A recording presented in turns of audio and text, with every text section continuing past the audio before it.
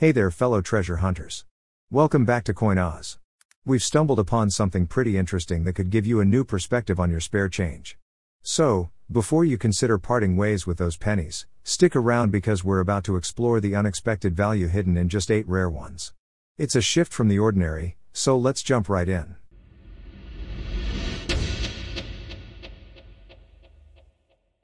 Number 8. 1988 D Lincoln cent with flared G on reverse. Graded as MS66 red by PCGS. According to LincolnCentCollection.com in 1988 rare alternate reverses from both the Philadelphia and Denver mints were produced where the A and the M were wide as normal but the FG initials were close to the memorial rather than far as they should be for that year. These are 1988 coins with the transitional year reverse of 1989. This variety has sometimes been unfortunately called the 1988 wide AM even though a wide AM is normal for that year. To clear up this confusion PCGS now names these varieties as having a flared G. This MS66 red cent was sold for $1,519.88 with buyer's fee.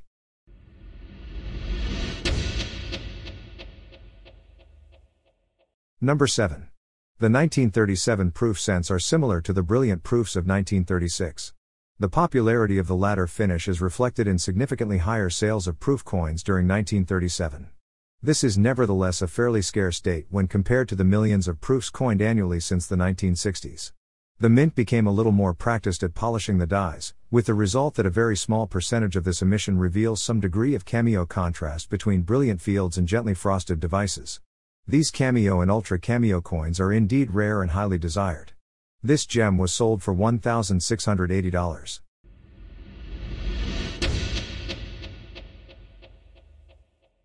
Number 6.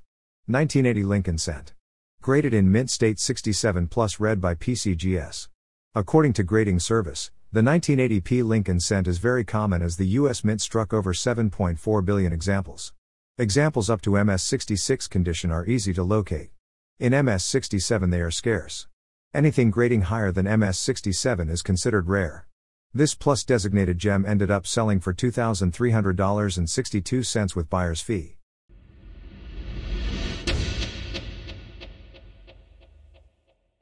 Number 5. 1930s Lincoln Cent. Graded in Mint State 67 red by NGC. This is a sharply struck, pristine copper red example of the 1930s Lincoln Cent, showing no carbon spotting or bothersome abrasions. eye appeal is excellent. This issue is rare in MS67 red, and no numerically finer red coins are known. It was sold for $2,640.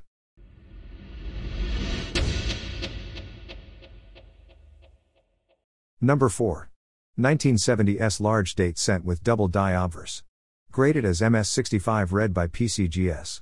All obverse lettering exhibits pronounced die doubling on this guidebook variety, showing most prominently on Liberty and In God We Trust, with lesser doubling on the date.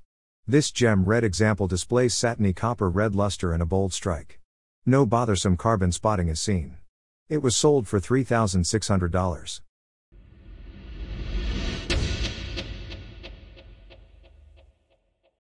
Number 3. 1955 Lincoln cent with double die obverse. Graded as MS64 brown by NGC. Deep walnut brown patina bathes this satiny and boldly struck key date cent. Some flickers of orange red color remain in the most protected areas. Each side exhibits a few trivial ticks, but a generally unabraded example. FS 101 shows bold die doubling visible to the naked eye, making it one of the most sought after issues in the series. This elusive specimen was sold for $4,320.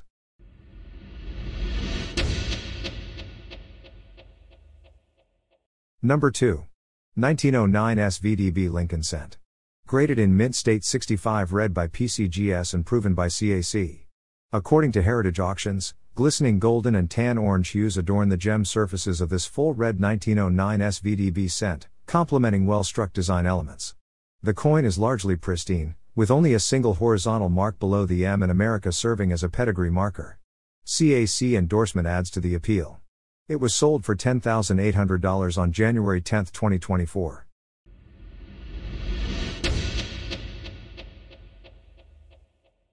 Number 1. 1974 S. Lincoln Cent. Graded as PR70 Deep Cameo by PCGS. According to Jamie Hernandez, The 1974 S Proof Lincoln Cent is easy to obtain and grades up to about PR68 Deep Cameo. Examples in PR69 Deep Cameo are more challenging to find, but enough examples exist that most collectors can buy one at a reasonable price. PR70 specimens are almost unheard of. PCGS has certified just four specimens, including this gem in that top grade. It was sold for $23,062.61 with buyer's fee. Thanks for watching this episode. If you found these information helpful, make sure to hit subscribe and like buttons before you move one with another video. Have a good one.